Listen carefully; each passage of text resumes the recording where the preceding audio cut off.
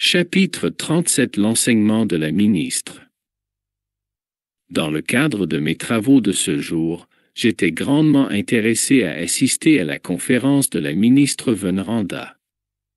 Sachant que je devais pour ce faire obtenir une permission, j'en discutais avec Tobias. Seuls les esprits sincèrement intéressés assistent à ces leçons, me dit-il. Ici, les instructeurs n'ont pas de temps à perdre. Par conséquent, tu es autorisé à t'y présenter avec les centaines d'autres auditeurs, serviteurs et pensionnaires, provenant des ministères de la régénération et de l'assistance. Puis il conclut dans un geste affectueux et stimulant. Puis ces leçons être très profitables je consacrai ce nouveau jour au service actif. Le contact avec ma mère et ses belles observations relativement à la pratique du bien avaient empli mon esprit d'un confort sublime. Au départ, peu après mon réveil, ces précisions sur le bonuseur avaient suscité quelques interrogations. Comment la valeur de l'or pourrait-elle relever de Dieu? N'était-ce pas le rôle de l'administrateur spirituel ou humain que de compter le temps? Tobias éclaira cependant ma lanterne. En général, il incombe aux administrateurs de compter le temps de service, et il est juste, également, qu'il institue des éléments de respect et de considération du mérite du travailleur. Cependant, Seules les forces divines peuvent déterminer avec exactitude dans quelle mesure ces heures ont été profitables aux travailleurs.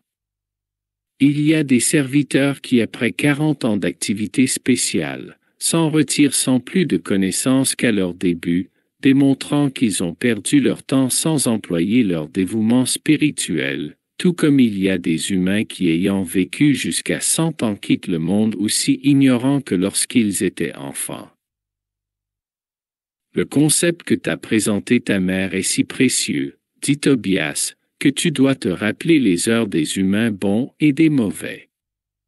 Pour les premiers, les heures se transforment en réserves de bénédiction de l'Éternel, mais pour les seconds, elles deviennent des filets de tourments et de remords, comme s'ils étaient des êtres maudits. Chaque fils est redevable devant le Père de l'emploi qu'il a fait des occasions qu'il a eues et de ses œuvres. Ces précisions m'aidèrent à estimer la valeur du temps dans tous les sens. À l'approche de l'heure prévue pour l'enseignement dispensé par la ministre, après la prière du soir, je me dirigeai vers le grand salon, en pleine nature, accompagné de Natacha et Célestio.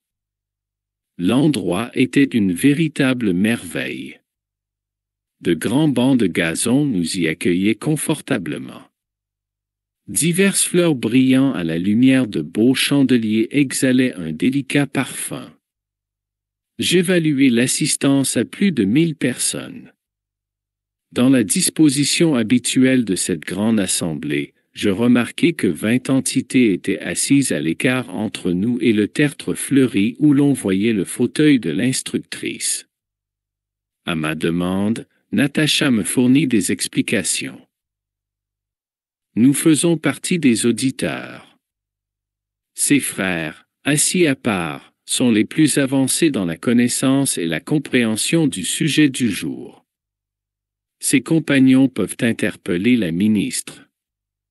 Ils ont acquis ce droit de par leur étude assidue du sujet, ce que nous pourrons faire aussi, à notre tour. Tu ne peux pas en faire partie? Demandai-je. Non. Pour le moment, je ne peux m'asseoir là que les nuits où l'instructrice aborde le traitement des esprits perturbés. Cependant, il y a des frères qui s'y assoient pour divers sujets, compte tenu de la culture qu'ils ont acquise. C'est une curieuse façon de faire. Le gouverneur, poursuivit l'infirmière, a désigné ce moyen pour les leçons et conférences de tous les ministres afin d'éviter que les travaux se transforment en débats d'opinion personnelle sans juste fondement, entraînant de graves pertes de temps pour tout le monde.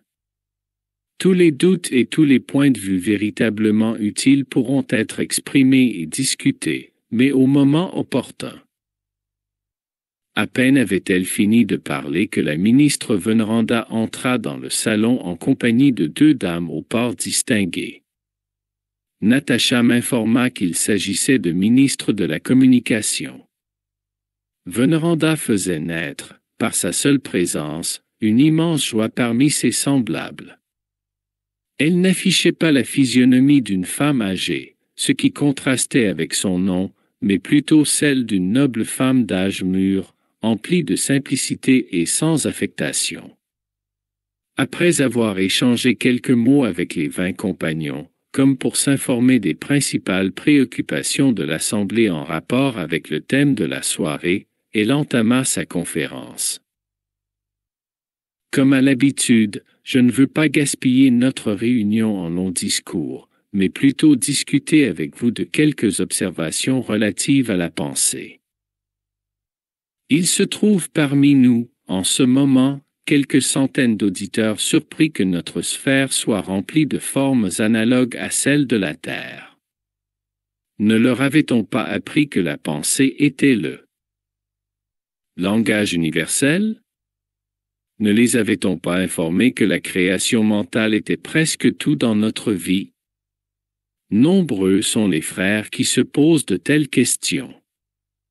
Or, ils ont trouvé ici des habitations, des outils et la langue de la terre.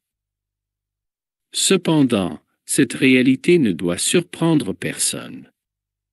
Nous ne devons pas oublier que nous avons vécu jusqu'à présent, en ce qui concerne l'existence humaine, dans les vieux cercles d'antagonisme vibratoire. La pensée est la base des relations spirituelles entre les êtres, mais n'oublions pas qu'il y a des millions d'âmes dans l'univers, certaines encore insoumises aux lois universelles. Pour le moment, nous ne pouvons pas nous comparer aux frères plus âgés et plus sages, près de Dieu, seulement aux millions d'entités qui vivent dans les capricieux mondes inférieurs de notre moi. Les grands instructeurs de l'humanité terrestre enseignent les principes divins, exposent des vérités éternelles et profondes dans les diverses régions du globe.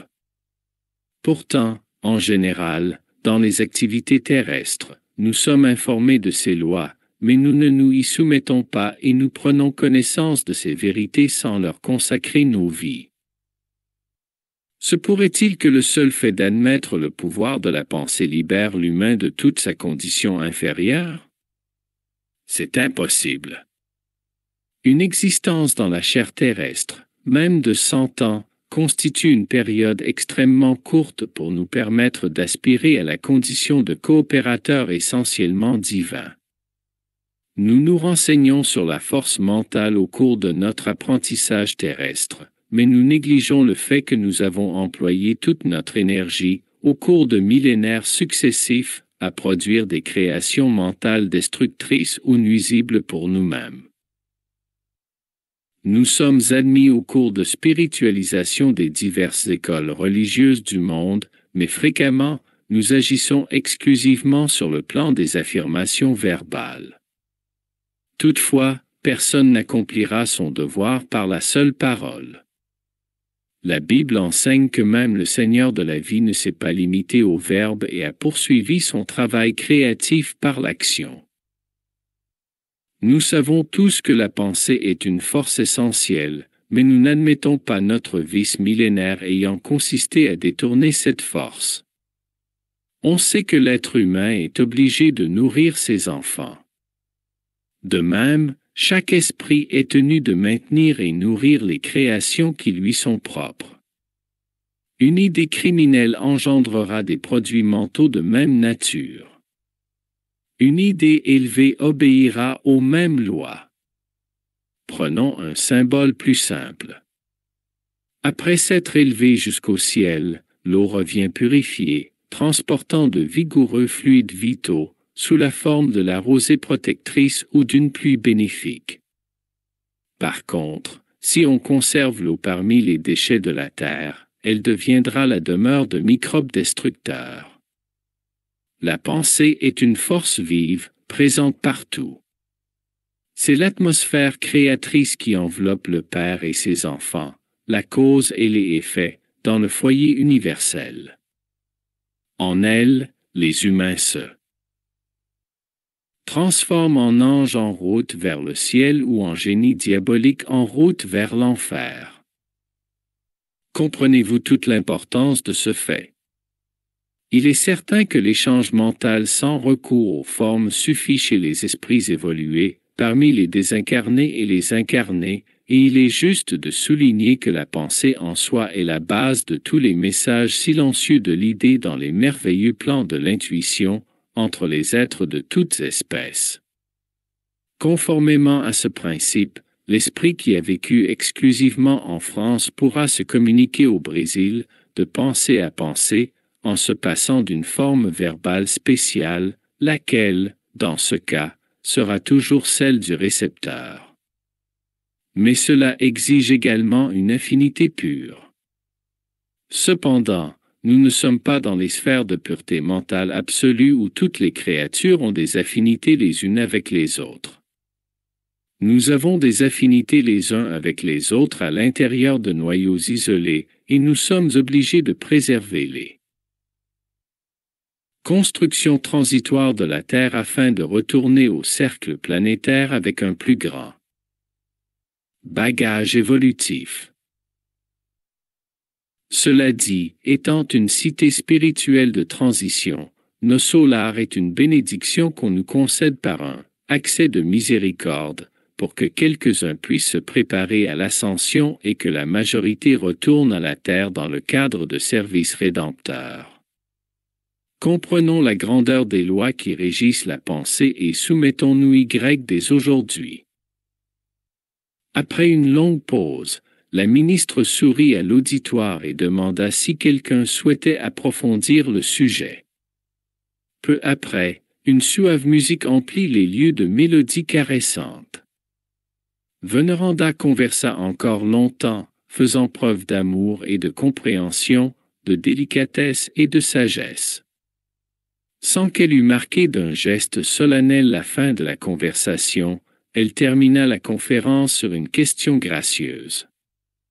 Quand je vis les compagnons se lever et se souhaiter le bonsoir, au son de la musique habituelle, je m'adressai avec surprise à Natacha. Comment? La réunion est terminée?